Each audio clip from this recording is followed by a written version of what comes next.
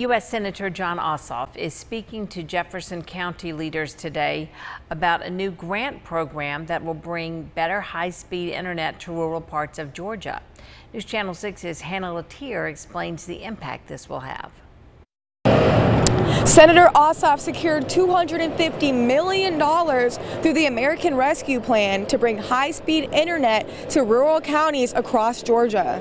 When I arrived in the Senate and sat down with my colleagues on both sides of the aisle to craft legislation that helps Georgia.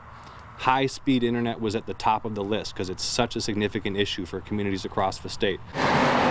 He says families, small businesses, farms, and schools will benefit from the expansion.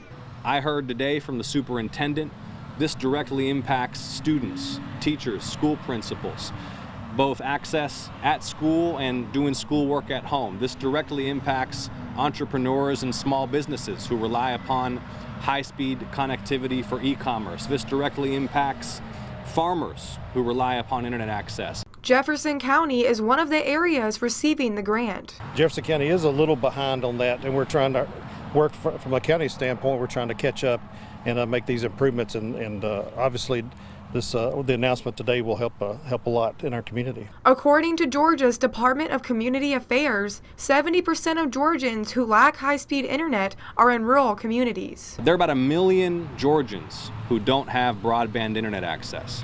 This is a historic day in the economic history of the CSRA. Major investments are on their way to help connect homes and businesses in Jefferson County and across the region with high-speed internet access. The Georgia Office of Planning and Budget is supposed to distribute the funds soon. Ossoff says more funds are on the way because of the bipartisan infrastructure law.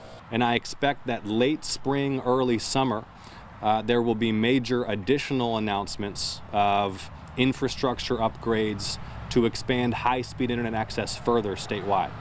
Ossoff says it'll be sometime next year before the project is put into motion, but he's dedicated to ensuring all Georgia communities have affordable, high-speed broadband. In Jefferson County, Hannah Latier, WJBF News Channel 6.